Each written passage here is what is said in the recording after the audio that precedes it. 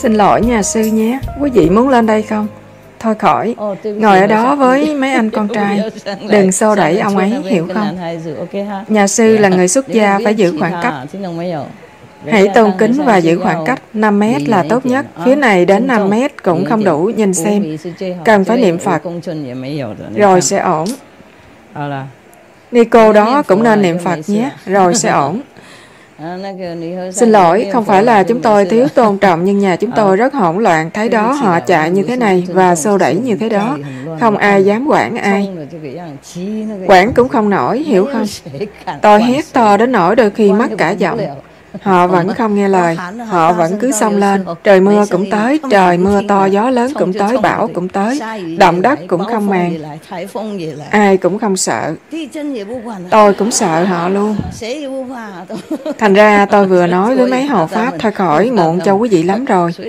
Bình thường họ ghét, tới 5 giờ thì về nhà xe buýt đang đợi họ.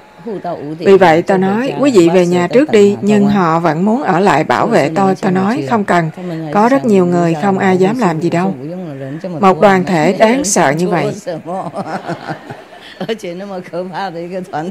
Đoàn thể này xét đánh cũng không sợ, hiểu không? Ta nói ngay cả tôi cũng sợ họ thì ai mà dám đến đây gây chuyện gì chứ?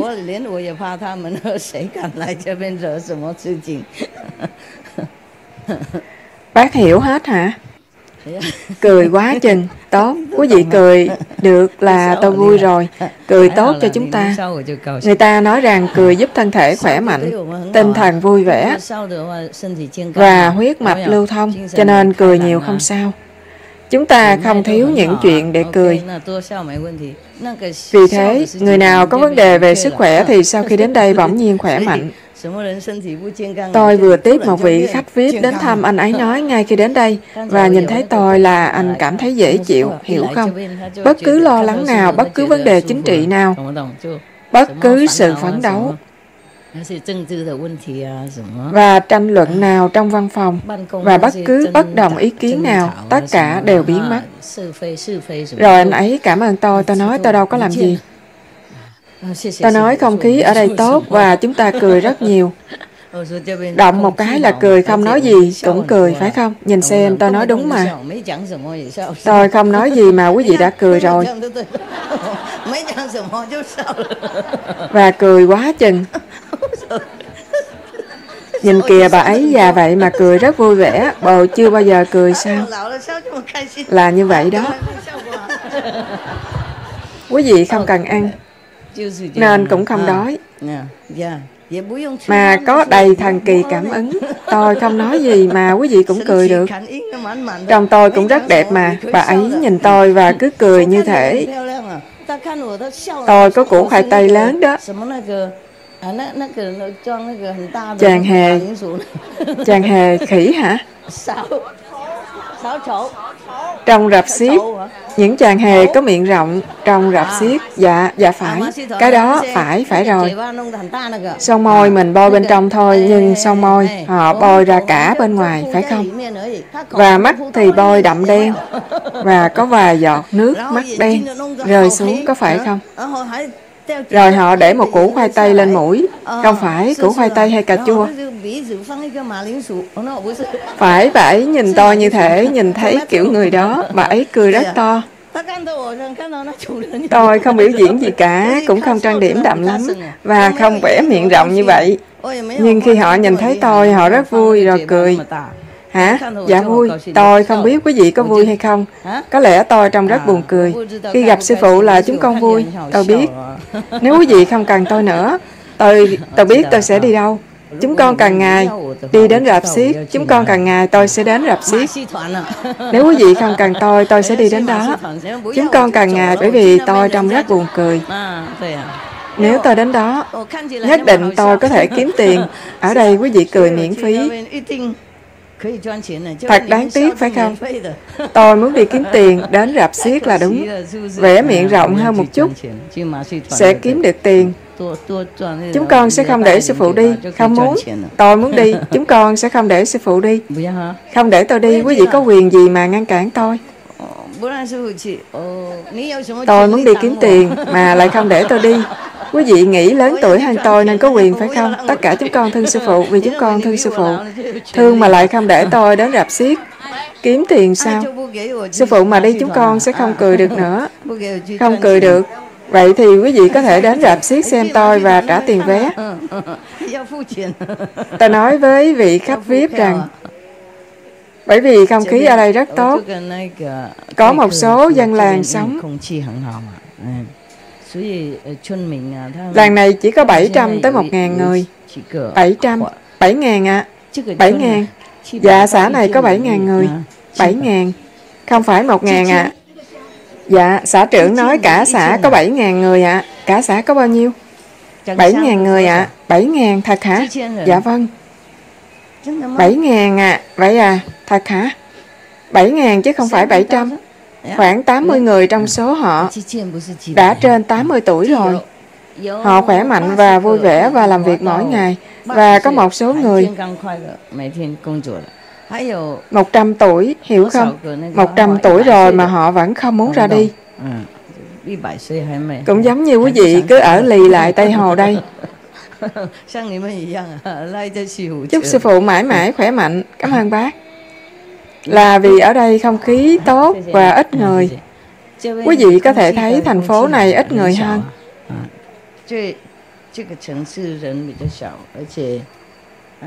Nhưng có rất nhiều cây cối và nhiều trúc.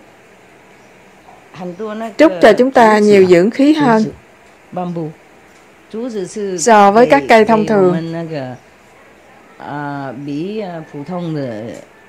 Có rất nhiều trúc ở đây, từ đây đến núi sao, nơi các thường trú nữ sống, đều có đầy trúc. Nếu quý vị chạy khắp.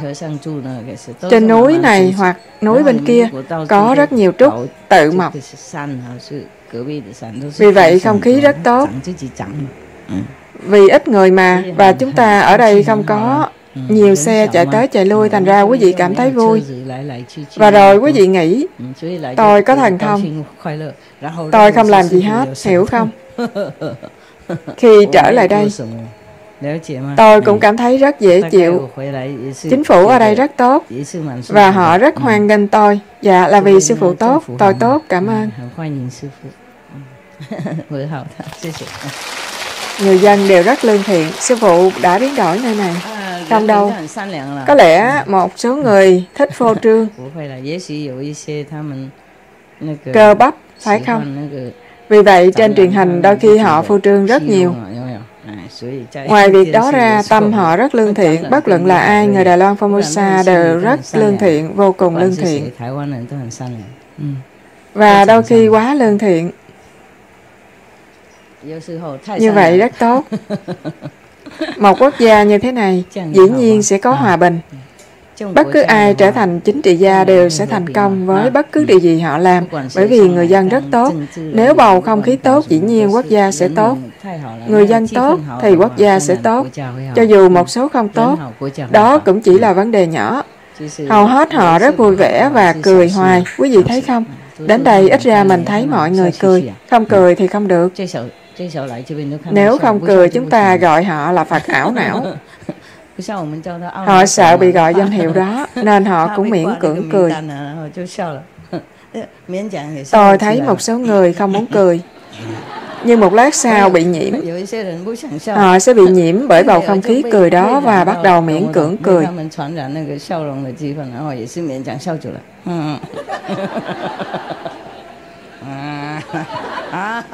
Rồi, người đại lục quý vị có câu hỏi nào không? Quý vị từ xa xôi đến như vậy, nói đi. Con từ Lạc Dương đến.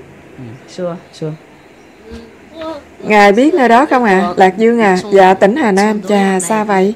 Dạ không xa. Đi mất mấy ngày? Dạ chỉ hai ngày. Hai ngày mà không xa à? Chà, đối với tôi là rất xa. Con hỏi giùm người khác. Anh đó nhờ con hỏi. Anh ấy nói, khi đến đó, xin hỏi Phật giùm tôi. Con nói được. Anh phục vụ trong quân đội. Thời gian này bị thương sao? Sau khi giải ngũ, anh bị thương. Bị thương rồi giải ngũ. Sau đó anh gia nhập nhà máy khai thác hầm mỏ, nhưng bị thương. Do bị thương, anh chỉ có thể đọc sách của sư phụ.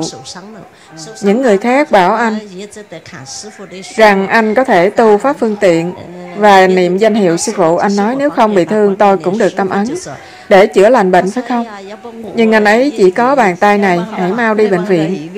Không ạ, à, anh hồi phục rồi ạ. À. Hồi phục rồi, sau khi cưa thì hồi phục rồi nên chỉ còn một nửa bàn tay. Câu hỏi là gì?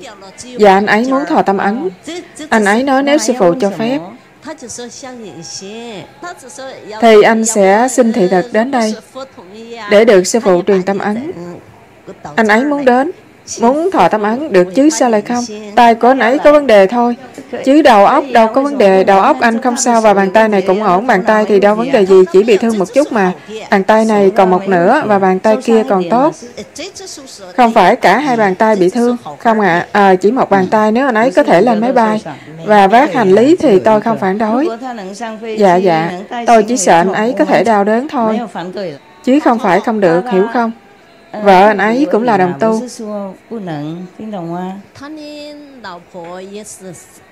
Là đồng tu, cô ấy cũng là đồng tu, dĩ nhiên không phải đồng tu. Thì chỉ có ai bị thần kinh mới đến. Đâu có ai muốn đến gặp tôi ngoại trừ quý vị. Vậy con sẽ... Được, được. Đó là câu hỏi của con. Cảm ơn Phật. Được, không có chi. Cảm tạ sư phụ ạ. À. Tốt nhất là anh ấy đợi đến khi khỏe hơn thì mới đến nhé. Anh ấy khỏe lắm ạ. À. Được, không sao. Tai bị thương cũng rất khó khăn và bất tiện. Dạ không, anh hồi phục rồi. Anh đã được chữa lành nhiều năm rồi. Anh muốn nhập môn để tu hành được con cảm tạ sư phụ ạ. à. được được rồi. không phải đến đây thì anh ấy sẽ khỏe ra. không phải như vậy. Tôi không hứa bất cứ điều gì. ý con là anh chỉ còn một nửa bàn tay một nửa bàn tay. ừ rồi sao? anh muốn thọ tâm ấn. Ồ muốn thọ tâm ấn. Nói mà nghe như anh đó là đồng tu chẳng phải bác nói. anh là đồng tu à? Vợ anh là đồng tu. Vợ của người khuyết tật này. Được rồi hiểu hiểu rồi Tôi hiểu, hiểu, hiểu rồi.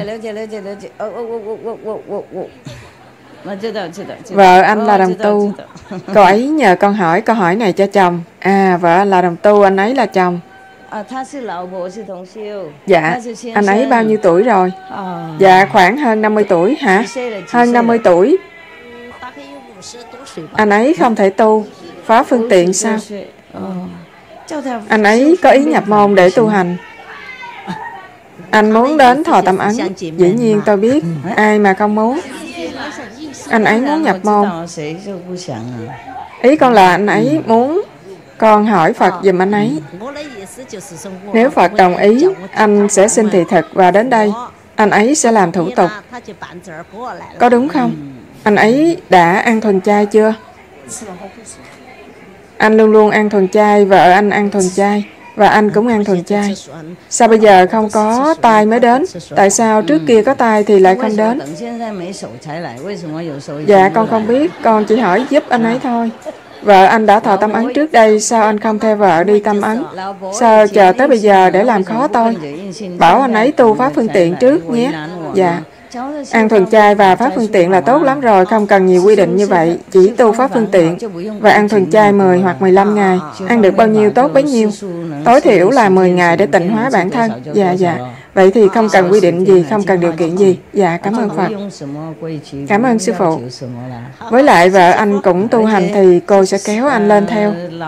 Cảm tạ Sư Phụ ạ. À. Pháp phương tiện là đủ. Dạ, Nói đi. Kính chào sư phụ, chào. Con trai con chơi trong phòng trò chơi. Và trong vòng vài phút, cháu thua mất 50.000 đến 60.000 nhân dân tệ. Sau đó con rất khổ sở. Đứa trẻ này bình thường rất ngỗ nghịch và không nghe lời chúng con. Con không quản thúc cháu được, nhưng con vẫn đến đây. Sau này con nên làm gì ạ? À? Con nên giáo dục đứa trẻ này như thế nào? Tôi không hiểu cô muốn gì. Cô muốn tôi làm gì? Chờ một lát.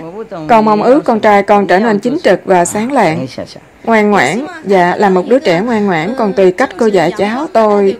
Con không có cách nào con xin thỉnh cầu sư phụ từ bi khai thị. Cậu ấy là đứa trẻ như thế nào? Tại sao cô muốn cậu ấy thay đổi? Cậu bao nhiêu tuổi rồi? Dạ 22 tuổi. Cậu có việc làm không? Cháu không đi làm. Mỗi ngày ăn xong là cháu nằm trên giường chơi trò chơi và xem điện thoại. Cháu không có việc làm. Ở đại lục nếu không có việc làm thì kiếm tiền bằng cách nào? Dạ cháu xin tiền con Nếu cô không cho cậu ấy thì sẽ không sao mà. Không cho cháu sẽ tức giận à. Ồ cô sợ cậu ấy hả? Dạ. Ồ đến mức như vậy. Vậy thì chồng con nói gì? Dạ chồng con ở đây ạ. à. à, Cả hai quý vị đều thua cậu ấy. Mà quý vị bảo tôi Một bà lão Có rất nhiều con cái Để quản thúc con của quý vị. Vậy có phải bất công lắm không? Sư phụ có trí huệ à? Trí huệ nếu có thể ép người khác. Tôi đã biến cả thế giới thành thiên đàng từ lâu rồi. Hiểu không?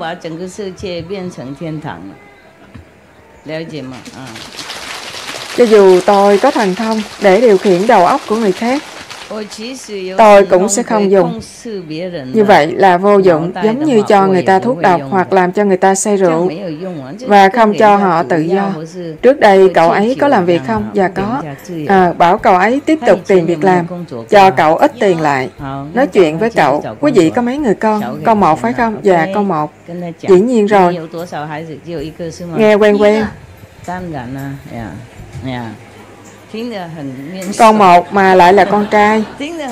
Ồ, quý báo thai Được cưng hư từ nhỏ rồi. Nên mới như vậy. Vì vậy chính phủ thay đổi là đúng rồi. Được phép có hai con có không? Dạ có